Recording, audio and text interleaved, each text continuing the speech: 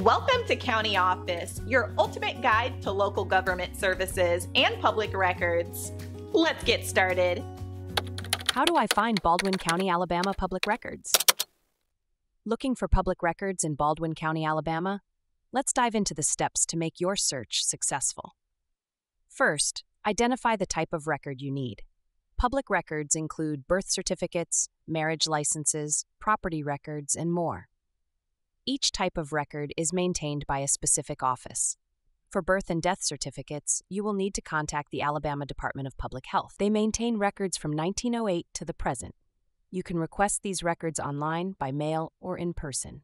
Be prepared to provide a valid ID and pay a small fee, usually around $15 for the first copy and $6 for each additional copy. Marriage licenses and divorce decrees are handled by the Baldwin County Probate Court. You can visit their office in person or check their website for online services. Make sure to have the full names of both parties and the date of the event. Property records are available through the Baldwin County Revenue Commissioner's Office. You can search for property records online using their GIS mapping system. This will give you access to property tax information, ownership history, and property descriptions.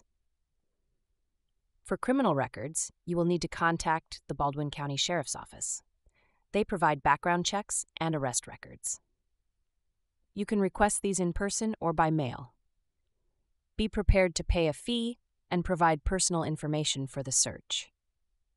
Court records are maintained by the Baldwin County Circuit Clerk. You can access these records online through the Alabama Judicial System's website. This includes civil, criminal, and probate court records.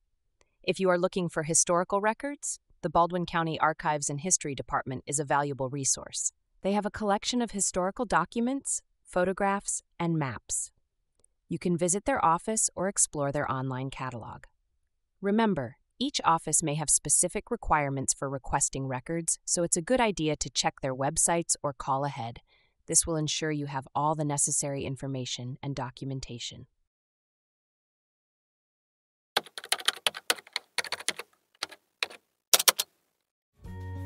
To learn more, check out these links, which you can click in the description below.